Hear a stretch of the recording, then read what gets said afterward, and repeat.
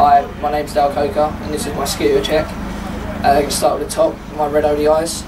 Uh, really, really soft and worn in. The rib and the bottom here. It's quite impressive. Uh, I haven't got any bar ends, so I don't see the point in them. Mine broke anyway, so. Um, got my MGP Batwing bars in black. Uh, best bars I've ever ridden. I love them so much. They're great. Uh, bunch red stick on the front as well. Uh, uh, red nitro clamp, uh, just to match my grips and fork. Um, got a stock nitro headset, it's nice and smooth, spins near enough two times, it's just right. Uh, stick on the front, surprised that's still there, quite quick. Uh, got red swish forks, uh, nice and strong, riding for about two months now, haven't had any problems with them, great. Uh, blue 81 custom peg, silver on the top, which switched over for some reason. Uh, got 110 Eagle blue wheel, it's really good, a bit dusty.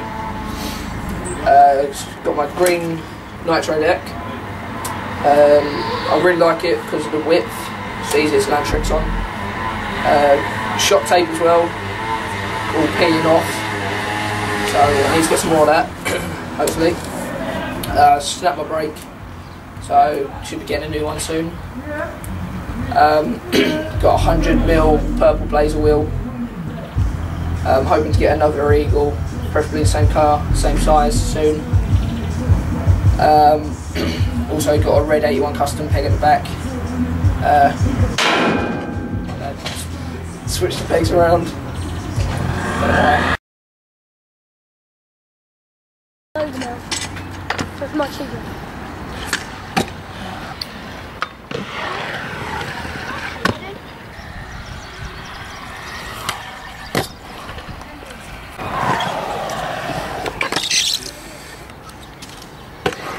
Yep.